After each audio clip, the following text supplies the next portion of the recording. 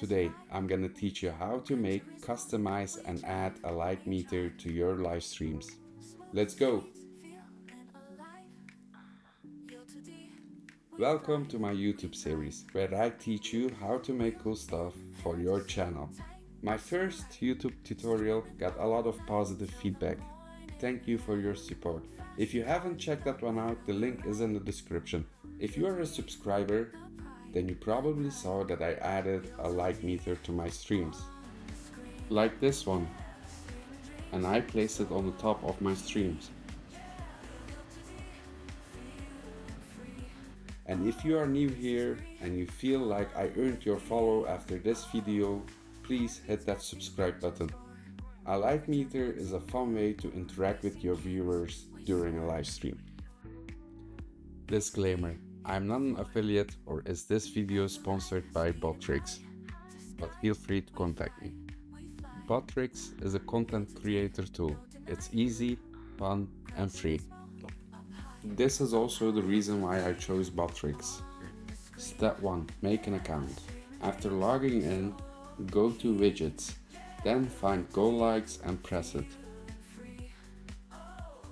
Step 2 Change the design to normal and enter an amount for your goal likes. You can alter the text or leave it empty if you don't want to display any message. For this tutorial, let's keep likes. After that, we are gonna copy the widget URL on the top of the screen. You will get a toaster message with a confirmation. Step 3. We are gonna add it to our preferred streaming tool. I use OBS, so in my sources panel, I'm gonna add a new browser and give it a cool name. Paste the URL we copied from Botrix in the URL input. Now change the width to 960 and height to 120 pixels. If you press OK and this is the result, you successfully added Botrix. In step 4 we are gonna add some CSS that I handwritten in this area.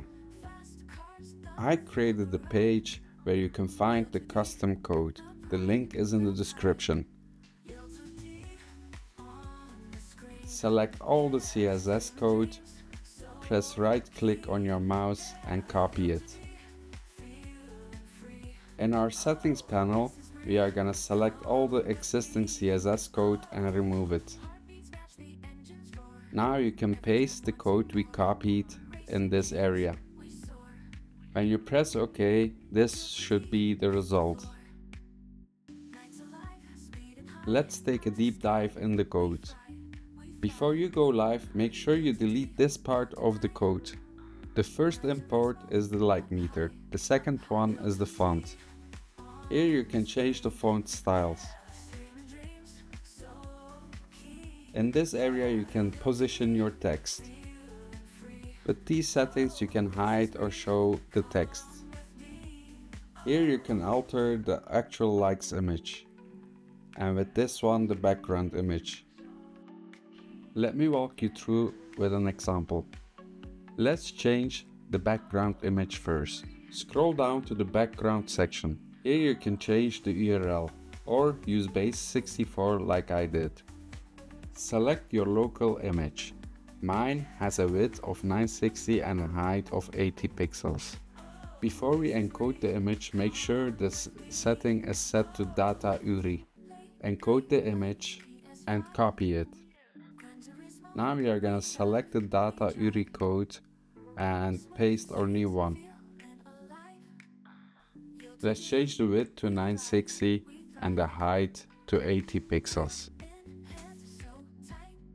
And now we are gonna repeat the same for the actual like image.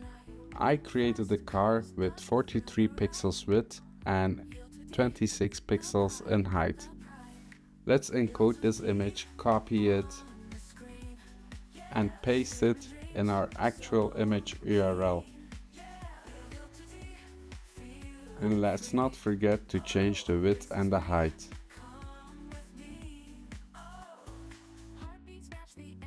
Let's make some adaptations.